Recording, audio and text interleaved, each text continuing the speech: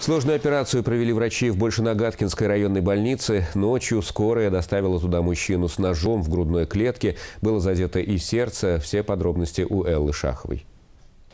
Под утро в 3.30 в Большенокаткинскую районную больницу по скорой доставили 36-летнего мужчину с проникающим ранением грудной клетки.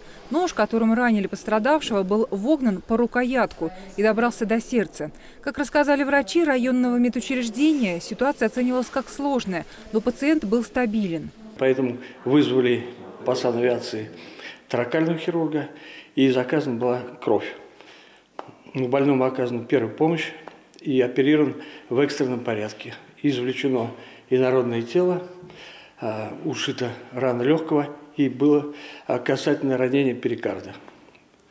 В настоящее время больной поправляется. Как пояснили местные медики, нож задел только оболочку сердца пострадавшего. Можно сказать, повезло. Но левое легкое получило сквозное ранение. Врачи со своей задачей справились блестяще. Мужчинам будет жить.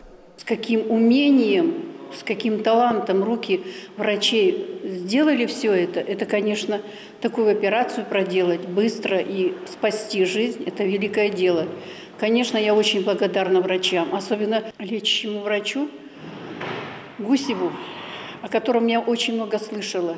Об этом враче просто говорят целые легенды. Он спасает столько жизней. Сергей Гусев – настоящий земский врач. В больнице он работает 35 лет. Здесь вся его врачебная практика. Обстоятельства, при которых получил ранение его пациент, сейчас выясняются. Нож правоохранителями изъят как вещественное доказательство. Элла Шахова, Алексей Прохоров, Вести Ульяновск из Цельнинского района.